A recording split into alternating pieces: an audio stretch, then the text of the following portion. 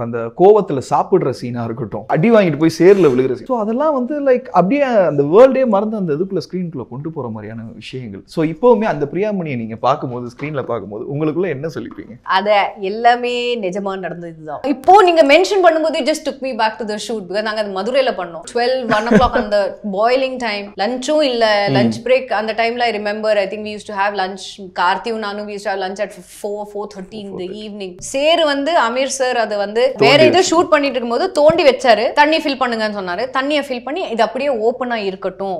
Cover பண்ண தேவையில்லை. எல்லாம் சொல்லி ஒரு வாரத்துக்கு அப்படியே வச்சாரு. சோ அதுல சேரு ஆல் யூனோ. இன்செக்ட்ஸ் எல்லாமே. இருந்தது. அண்ட் அதுல வந்து சார் வந்து கார்த்தி அடிக்கணும் நீ விழணும். ஓகே பட்டுன்னு அடிச்சாரு விழுந்த கீழே.